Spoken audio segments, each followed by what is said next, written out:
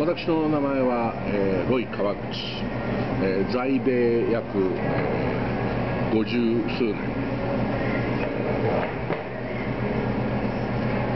実生活に入ってから、えー、約40年よ通訳をしております。いろんなタイプの通訳をしておりますが最近ラスベガスでは、えー、コンベンションあるいは学会あるいはコンファレンスと言われる、えー、大会で、えー、通訳をします。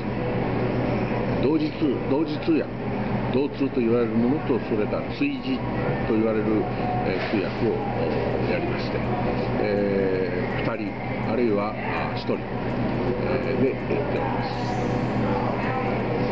業界は、えー、非常に幅広く最近の IT インダストリーそれから、えー、メディカル、えー、マーケティングというふうな業界がここで、えー、数多くのコンファレンス、えー、シンボジアムそういうものをやりますので、えー、その時に通訳として登場しております。どうもありがとうございました。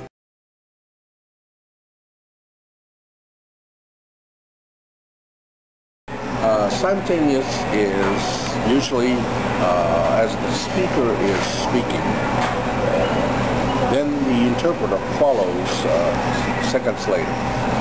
Consecutive is usually thoughts or sentences are finished and the speaker turns around and look at the interpreter and saying, your turn. And that's when you start to translate or interpret the whole sentences that the speaker has stated. So those are two languages I can do in many industries. In the past uh, 15 years with Mr. Tim Wilson, I have uh, done maybe a over uh, 100 uh, jobs that are that require either the simultaneous or consecutive. Plus uh, business translations, which is usually consecutive, but uh, they are more done on, exchanging of uh, sentences between parties concerned. What type of customers are you looking for specifically? Um, my experience with interpreting uh, has been in IT, uh, medical, uh, marketing. Uh, we do come across just about every industry since Las Vegas is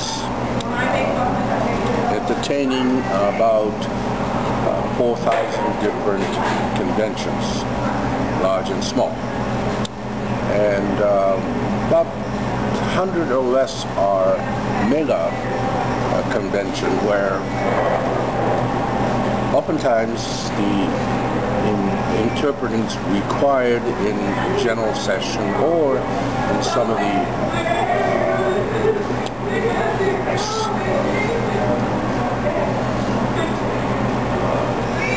conferences that takes place during the uh, convention time.